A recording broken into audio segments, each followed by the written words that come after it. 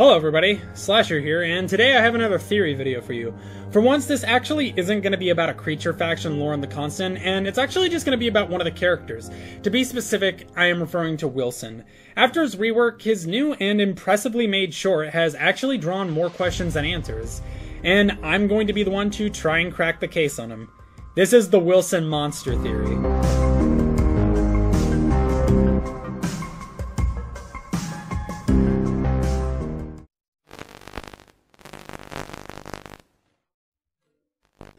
Wilson is the first character you can play as in single player Don't Starve, and this has led many people, including myself, to perceive Wilson as the de facto protagonist of the Don't Starve series. He has the most art between him and Maxwell, the main antagonist of single player Don't Starve, at least until you free him. He has one of the largest amounts of appearances in most Don't Starve animations. Regardless of people thinking whether or not he's supposed to be the main protagonist or not, he is very much real and present within the Don't Starve lore. However, with Wilson's introduction and new short, we still know very little about him as a character other than he may be living in Wagstaff's old house, or he is Wagstaff's son, or maybe even he's Wagstaff himself. All we know about Wilson's past is that he was working at a university, or he was a student, who was apparently studying alchemy and was kicked out of the university when he blew up a chemistry lab. But that is pretty much all we know about pre Constant Wilson, with the exception of how he got to the Constant, having been coaxed in by Maxwell on the Voxophone to build an adventure portal, which unfortunately takes him to the Constant. The only thing we know left is about Wilson as a person that he wants to be a scientist and he came to the constant with the pursuit of knowledge. Whether or not he is a good scientist is irrelevant, as he has made some alchemical breakthroughs in the constant, even as small and as goofy as they seem. So, Wilson is a scientist and is the main character in The Constant who has a strange relation to Wagstaff. He also has a relation to Maxwell, but that isn't unique to Wilson, as most characters do have some sort of relation to Maxwell. However, where it gets unique is that all of these characters received at least some type of gift from Maxwell, but Wilson didn't receive anything. Well, at least not originally. That's when I noticed some of Wilson's transmutations were a little strange.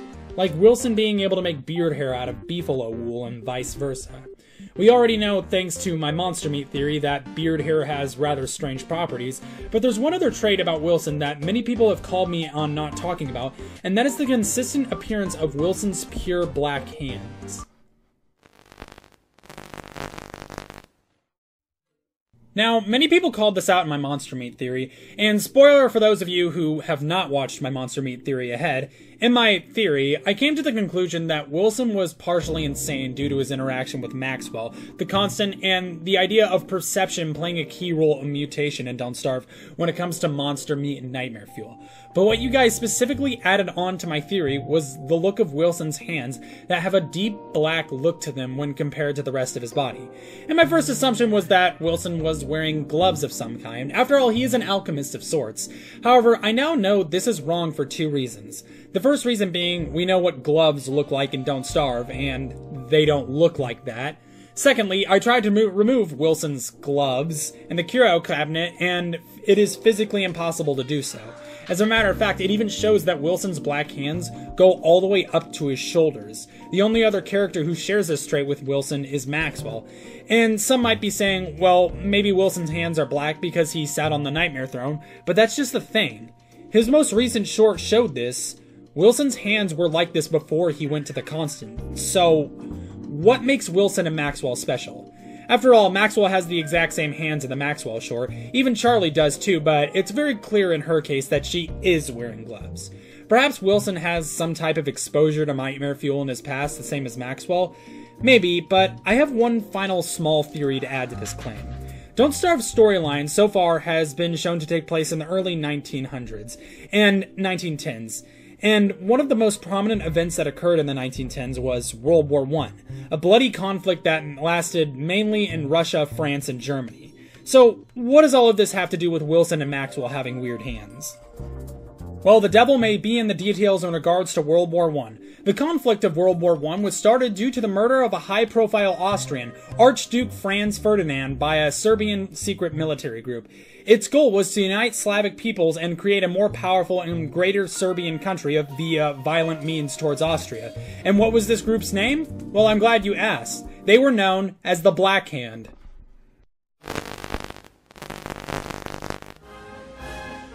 So, why might Wilson have a bone enough to pick against Austria-Hungary that would cause him to aspire violence against them in order to create a more powerful Serbia? As we know, Wilson is an aspiring scientist with a deliciously fat rump. And when we look up Serbian scientists 1910, the most prominent example we get is Nikolai Tesla, one of the inventors of the radio. Furthermore, Wagstaff, as we know, is the creator of the Voxelos radios, or Voxophones. That may not be just a coincidence. We also know that Wagstaff's entire factory for making Voxophones burned down only just a few days after production began.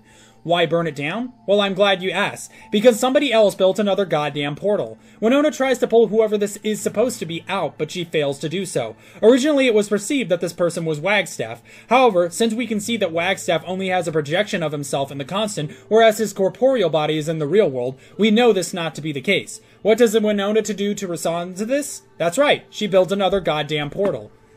I originally assumed Wagstaff to be like Albert Einstein due to his appearance, but the semblance of both time and his inventions now leads me to believe he is more of a reference to Nikolai Tesla.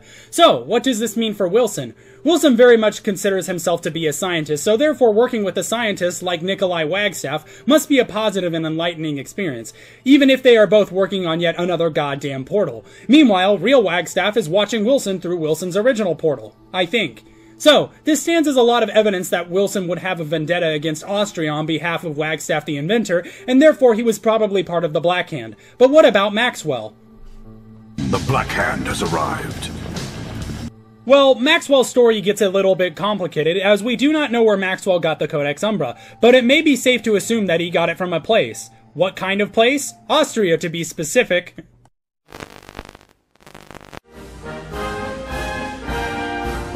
There is actually a lot of evidence for this theory. You see, Wilson and Maxwell both have black hands, and in 1910s there was a military group against Austria that wanted to unite Serbia, and they were also called the Black Hand. And in Maxwell's book, The Codex Umbra, he summoned shadow puppets to do his bidding. And you may have noticed, these shadow puppets also have black hands, another instance of Wilson's imminent aggression in the pursuit of science. However, why were these objects in Austria? Well, I'm going to make a bit of an assumption, but here's where I take a shot at it. Modern day Austria is just referred to as Austria.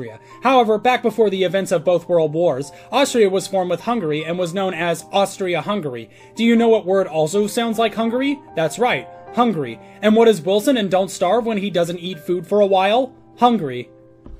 I always hated this part.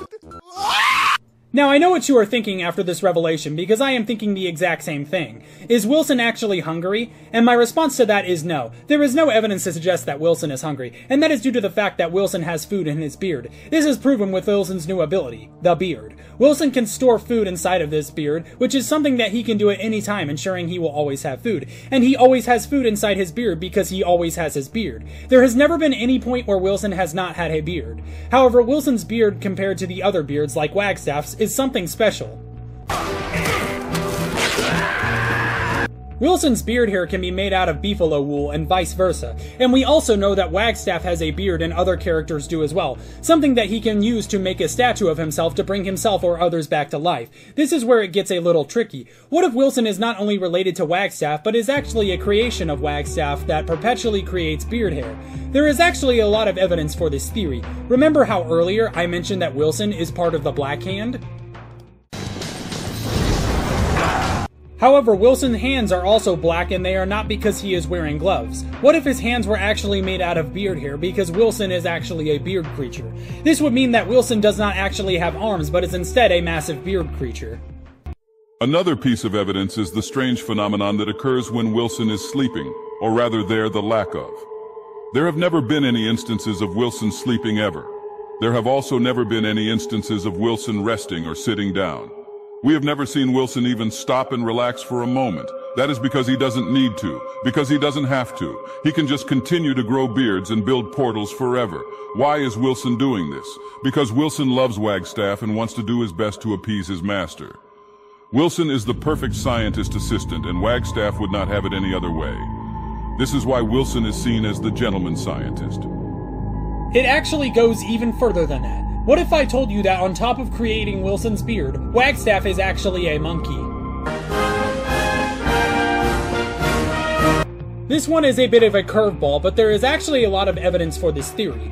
In the Moon Quay short, we see Wagstaff on a barren island. Doing what, you ask? That's right, building another goddamn portal. The portal does not work, however, and instead causes a huge providence of Pirates of the Caribbean 6 seeking $32 billion in equity damages on behalf of the Lobster King. So, they want our bodies, and they're gonna get them. So how does this relate to Wagstaff? Wagstaff also has a monkey in a crate on the ceiling of one of his bases in the WX-78 short. Therefore, I am led to believe that Wagstaff is actually a monkey supremacist that intentionally goaded the Pirates of the Caribbean to arrive and Don't Starve together. And the last piece of evidence is this. When first starting Don't Starve Together, there was a comic release for the Cyclone puzzles between Wilson and Maxwell.